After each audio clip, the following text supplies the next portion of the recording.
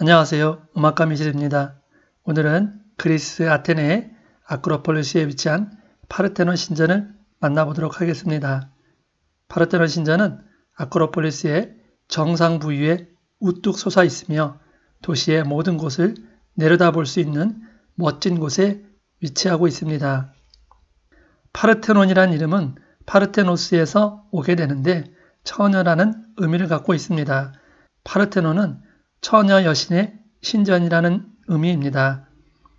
신전의 기단의 면적은 70m, 30m의 사각형 구조이며 바닥은 가장자리가 중앙보다 약간 더 낮게 설계되어 있습니다. 신전 외부에는 46개의 기둥과 신전 내부에는 23개의 기둥이 있습니다. 이 기둥들은 약간 곡선을 띠면서 위로 올라갈수록 좁아지는 형태의 배울림 기둥 형태를 하고 있습니다. 또한 기둥의 윗부분은 약간 안쪽으로 기울어져 있습니다. 그리고 지붕과 기둥이 만나서 생기는 삼각형의 박공에는 화려한 조각이 되어 있었습니다. 지붕은 큰 대리석 기와가 덮여 있었습니다. 지금 현재 파르테논 신전 자리에는 기원전 6세기 이전에도 파르테논 신전이라 불리는 건물이 있었습니다.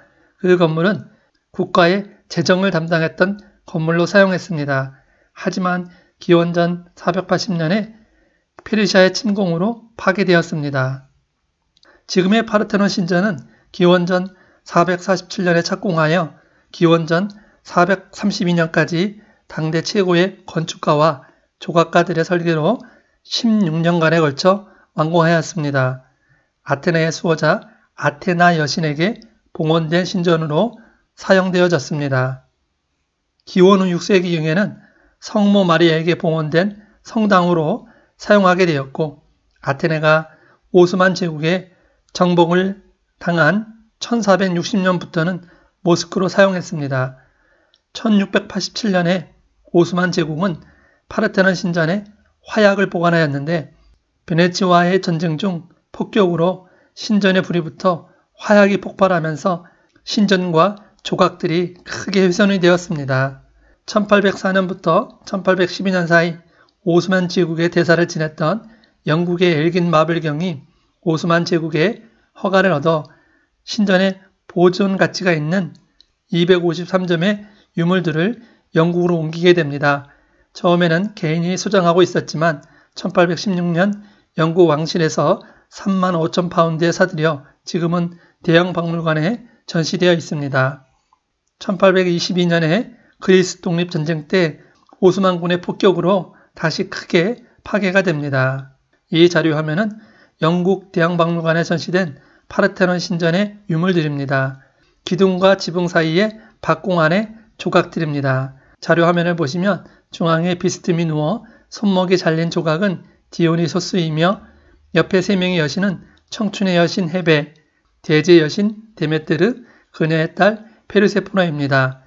이 조각들도 여신을 상징하는 조각이며 비스tim이 누운 미의 여신 아프로디테와 그녀의 어머니 디오네 그리고 불과 화로의 신 헤스티아입니다. 이 조각은 박공 밑에 조각되었던 장식으로 상반신은 인간이고 하반신은 말인 겐타우로스입니다. 겐타우로스가 아르고스의 공주 히포다메이아 결혼식에 하객으로 참석하게 되는데 켄타우로스가 술에 취해 신부인 히포다메이아와 여성들을 납치하는 바람에 라피타인과 결투하는 모습입니다.